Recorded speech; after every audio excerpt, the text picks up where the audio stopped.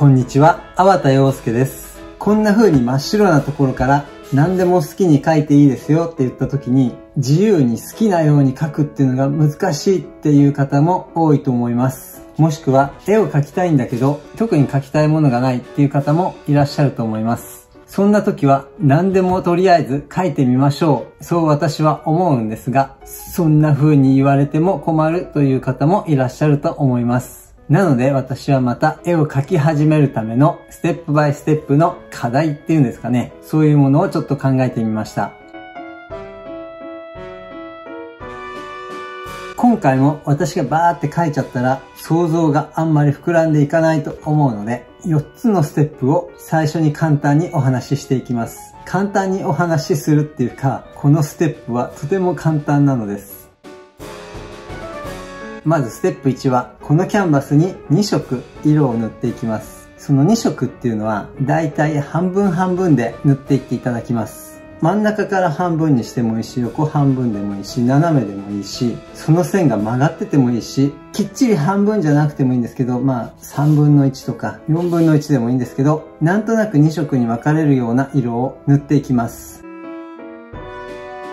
ステップ2は2色の色が塗ってあるところに丸でも四角でも何でもいいんですけどバーンってねなんか色を塗りつぶしていきます。それが真ん中に来てもいいし上でも下でも斜めでももしくは端をこういう風に塗りつぶしてもいいしまあこのぐらいの大きさだといいかなと思うんですけどもっと大きくてもちっちゃくてもいいんですけどステップ1で塗った色の配置とかに合わせてバランスなんかを考えてどこに描くっていうのを決めます。なんか塗りつぶすような感じで形とかを描いていきます。もし最初に塗った色が濃い色だったら薄い色に塗って、最初に塗った色が薄い色だったら濃い色で塗っていきます。まあすごい対照的な色で塗りつぶすって感じの塗り方をします。なんでどっかに塗ったら同じ形とか色じゃなくてもいいんですけど似たような濃さの色でもしくは同じ色で何箇所かポンポンポンポンポンって小さいバージョンを全体のバランスを考えながら描いていきます。2つとか3つとか、それ以上あると面白いかと思います。次はステップ3なんですが、今度はなんか線を描きます。まっすぐな線でもいいし、曲がった線でもいいし、まっすぐな線っていうのは横でも縦でも斜めでもいいし、曲線っていうのはこうぐるぐる回っててもいいし、そのぐるぐる回ってるのが角張った線でもいいし、何でもいいから線を1本描きます。最初に描いたステップ1と2の抽象的な絵ですね。そこになんか線を描くことによってなんかストーリーだったり、なんか意味的なものが形作られていく、そんな感じになっていくと思います。ストーリーとか意味って言っても、ストーリーがある必要もなければ意味がある必要もありません。ただ私は言葉が思い浮かばないので、ストーリーとか意味って言ったんですけど、なんかその絵を形取る、その線っていうのが、この先どんな絵になるかっていうのをイメージすることを導いてくれる線になると思います。ということで、ステップ4は、この2色の背景、塗りつぶした大小の色、形ですね。そしてそれを形取る線。ここまでの形ができると、この先どんな絵を描こうっていうのがだんだん見えてくると思います。というわけで、ちょっとそのステップ1から3まで描いてみたいと思います。ということで、2色の色をここに塗っていこうと思います。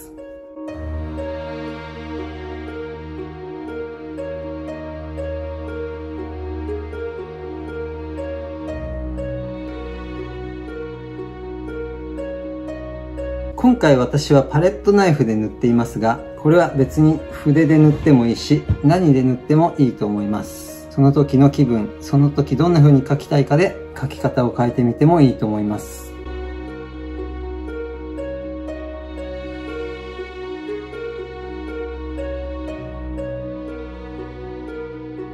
また、こんな風に雑に塗ってもいいし、丁寧に塗ってもいいし、この境目もきちんと描きたい人はきちんと描いてもいいと思います。筆とパレットナイフ、両方使ってもいいし、まあいろいろその人その人の描き方があっていいと思います。ちょっとこんな感じで2色色を塗りました。結構ムラで、この辺とかもきっちり境目がなってなくて、しかもちょうど半分半分じゃないんですが、こんな感じで塗ってみました。今日は天気がいいので、外で乾かして乾いたらステップ2を書いていこうと思います。もうあっという間に乾いてしまいました。では、ステップ2ですね。ちょっとこれは、こういう風に書こうかな。この色だったら薄い色でも濃い色でもどっちでもいいんですけど、ちょっとここに大きい物体を描いていきます。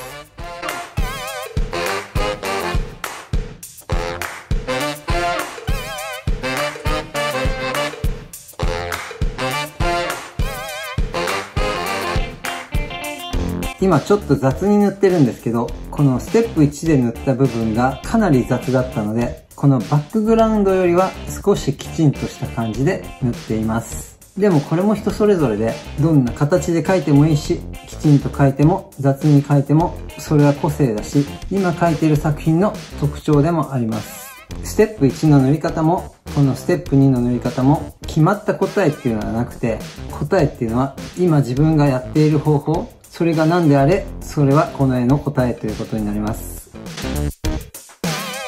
こんな感じで描きました。結構これ大きく描こうと思ったんだけど、こんな感じになりました。これだけ見てもなんだかわからないんですけど、なんかいろんなものに見えてきています。では、ステップ3は線でしたね。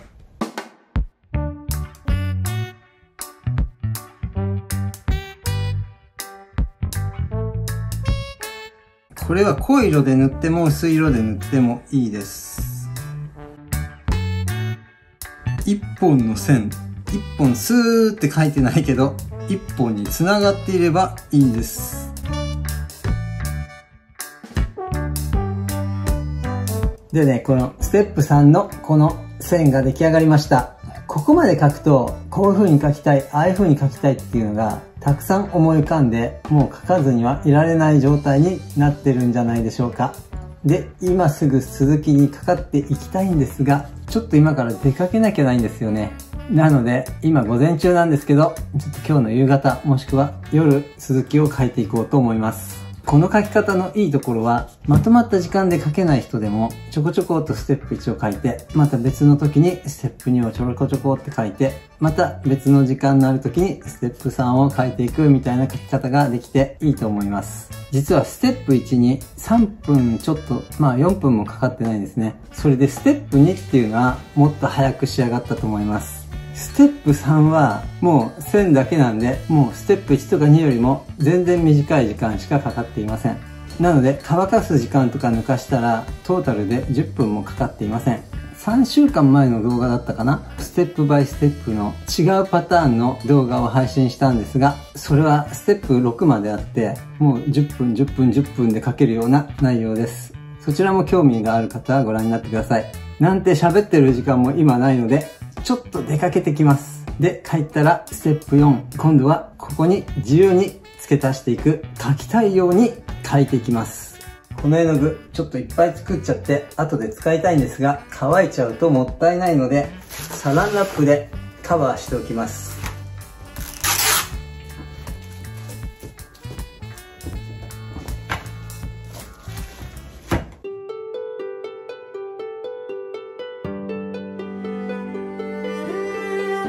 夕方ぐらいに書き始めることはできたんですけど、ここまで撮った動画の編集なんかを始めてしまったら、すっかり夜になってしまいました。その途中までの動画の編集もまだまだ終わっていませんけどね。それよりも最初にお話しするのを忘れちゃったんですが、上手下手っていうのも考えないで、上手に書こうっていうこともなるべく意識しないで書いていただけたらと思います。もう10時間以上経っちゃいましたが、うん、まだ使えそうですね。この辺を書き足していこうと思います。